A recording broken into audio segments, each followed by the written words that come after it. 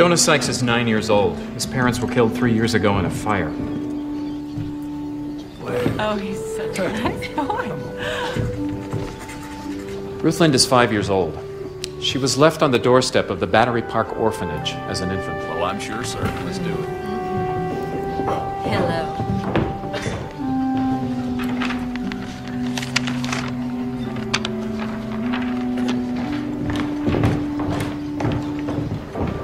Next is Belinda Marshall. She's 14 years old. We need a boy. Boy's too young and scrawny. She's older. She looks like she could handle herself on a farm. I'll look her over past her. See if she might do. Open your mouth. Why? I want to make sure you're healthy. You're spirited, huh? That's all right. Means you're tough. You'll be a good worker. We'll take her. I'm not going with you. You smell. You probably haven't had a bath for a year. Watch your mouth, girl. She's incorrigible. He looks healthy enough. We'll take him. He looks like he'll grow into a good farm hand. That isn't the point, Hank. I thought the point was to find homes for these youngins. Anyone else here want him? If he comes with us, he gets a decent home with plenty of good food. And I'll see he comes to church. The choice is yours, Jacob. You don't have to go with him. Would you rather go back to the orphanage? No. All right then. Sign a paper, Sheriff.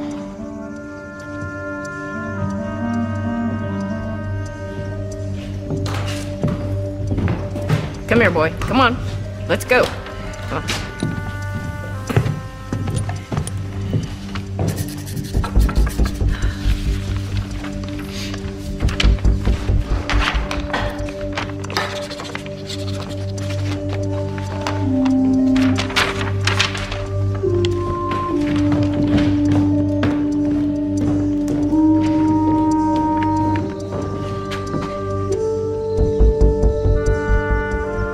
Come on.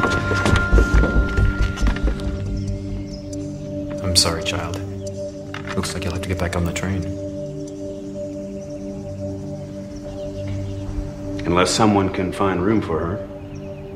Oh, my house is small. There's barely enough room for me and Marty.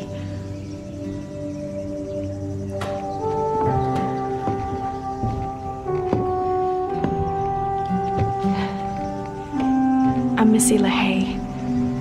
I'm the school teacher here, and I have a little boy. I can't offer you much. No fancy dolls or store-bought dresses, but if you come to live with me, I'll treat you kindly. Okay? I'll take that as a yes.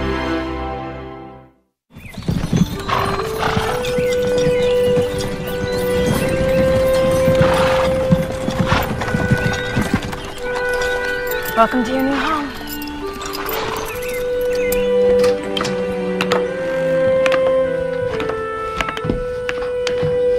Marty, this is Belinda Marshall. She's going to be living with us. For how long? Just till I'm old enough to leave, not a day longer. Let's just say for the foreseeable future, and we'll leave it at that for now. You can put your things over here. Um, I'll make up a bed over here, and, and I'll hang some curtains around it for some privacy. I'd rather sleep in the shed. Oh, no. It's too dirty and has lots of broken down old furniture and stuff. I don't care. I'll fix it up myself. Uh, Marty, will you go over to Mrs. Hudson's and ask her if we can borrow her spare mattress? Just for a while.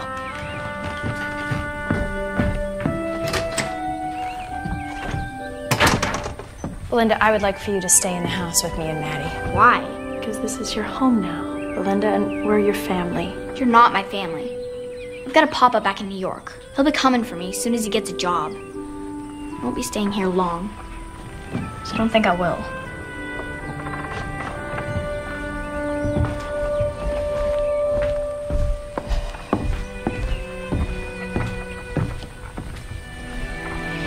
This should do for now. At least until it turns cold.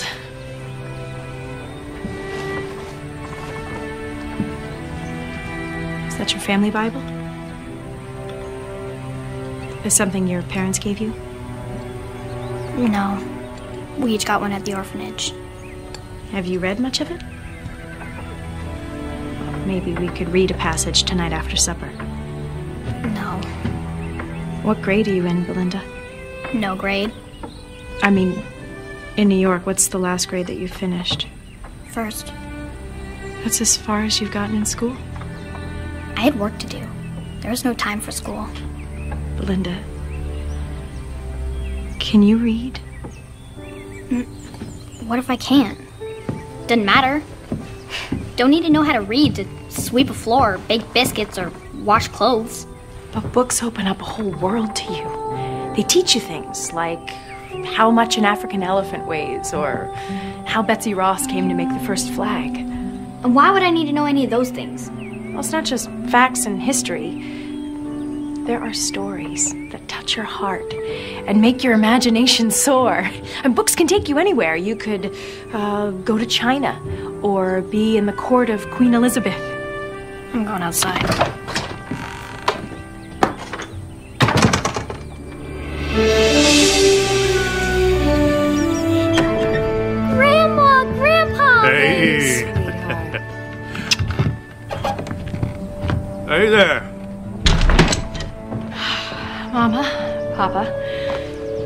This is Belinda. Welcome to the family, Belinda. We hope that you'll come to think of us as your grandparents. I'm not your granddaughter. We're not trying to take the place of your other grandparents. We just think a child can't have too many people who love her. Do you have grandparents back in New York? No, and I don't need none either.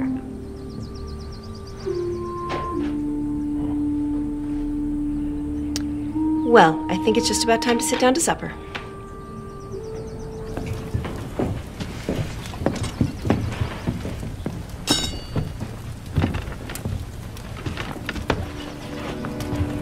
Belinda, What? We say grace first. Belinda, do you know what that is? Of course I do. We had to pray over our food at the orphanage. I don't know why. No, it's important. We're very fortunate. A lot of people go hungry. I Bet I know that a lot better than you do. Hmm. Let's bow our heads. Pray. Dear Lord, we thank you for everything that you have given us, especially for the new member of our family, Belinda.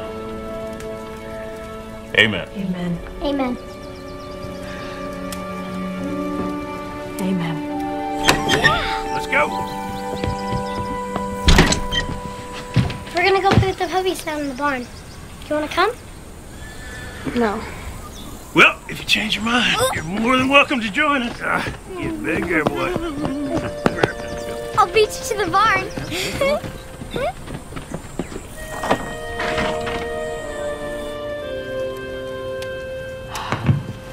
For the life of me, I don't know what possessed me to take in that child. I sure didn't need any more responsibility. Then why did you? I didn't intend to. But when I rode past the church that day, something stopped me. And then when I heard Pastor Joe say, Will someone take this child? It, it was as if another voice came out of me saying, I will. Maybe it was another's voice. You think God was speaking through me? I think God knew that Belinda needs you. And maybe, for some reason that you don't understand yet, you need her.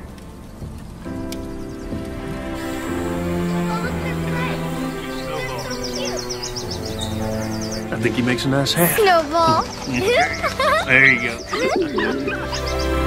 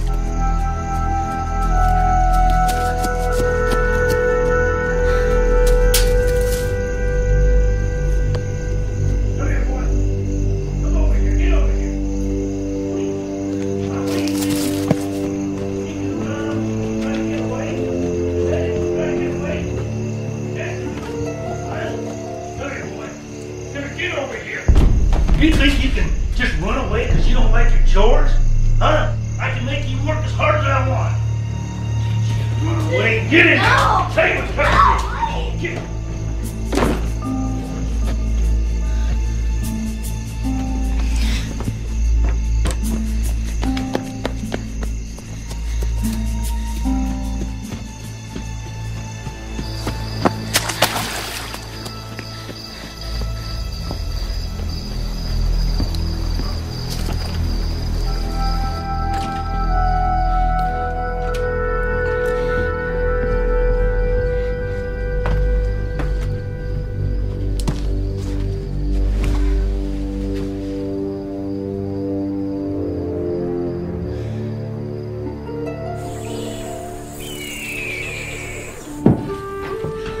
That's rising nicely.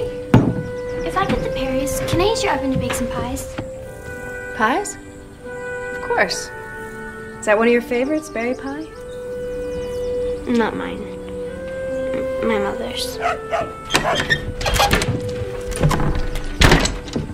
Belinda's gonna bake us some fruit pie. That's nice. What's the matter, Clark? I gotta take care of something for the Fletcher widow.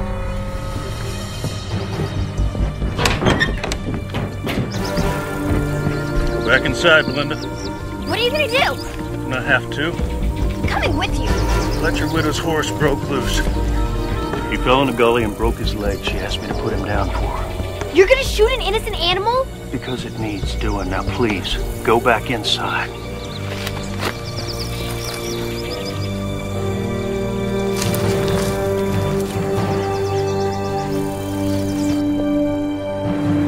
What if the horse's leg can be fixed?